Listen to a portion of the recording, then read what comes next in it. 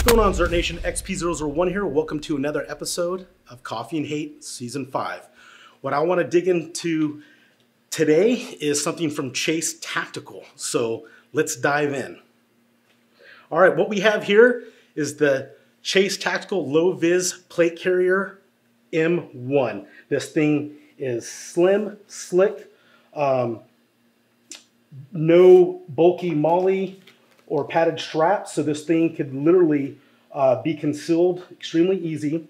Um, what I like about it is it has these Velcro bungees that come in so you can accommodate tourniquets, extra mags, whatever. Then you have your, your primary mag system up top. Now, if you even want to get slicker, this can be removed here. And then basically you're running super slick and all your accessories on the side. Now, another option is this when I'm looking at the use of these elastic pouches, if you're going super low vis, this has an, enough retention to carry, this is a, uh, the size of a, a 17, Glock 17 here. So when you have this mounted on, this could be another option as well.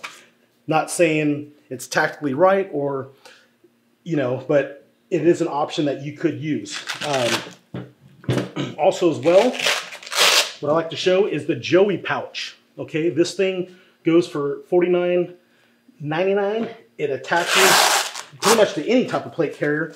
Um, has pouches in the back and front. This thing could be used for a multitude of reasons.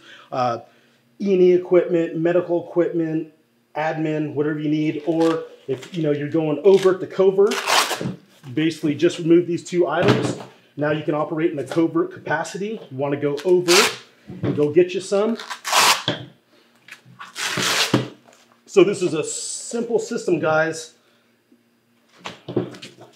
that has, um, it's slick. I, I, really like it. I can't wait to get out in the range and run and gun it. And also too, another thing I want to show too, um, thanks to Phokus Research, is for some SOPs and some teams, you got the Phokus Research Trauma Kit that there's some teams that their SOPs that they have all these in their plate carriers. This goes behind your ballistic plate, right? Obviously tourniquets stay on the outside, but it's for some of those guys that want to stay super slick uh, and be in a super covert role. This is a cool little piece of kit as well, and that's from Phokus Research. This is a certified one that actually has a, a bug out kit on the back. Um, so the key thing is, is that I've been working with Chase. We've ordered the supplies and I'm having the Joey pouch and this low vis plate carrier made certified. What I mean by certified is this is the year of the black multicam, so it'll be done in black multicam with red stitching. We're looking to do something a little bit different with the, the Velcro color configurations.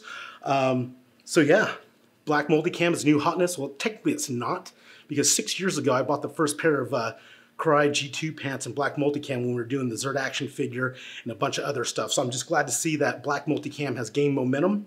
Uh, so I think it has some uh, lineage and history with the Z machine, even though it's only six years ago.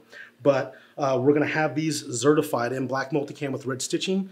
Stay tuned. Um, I'm waiting for some pictures from Chase Tactical uh, as they're putting these kits together. So I hope you guys enjoyed this review. I'm XP001, out.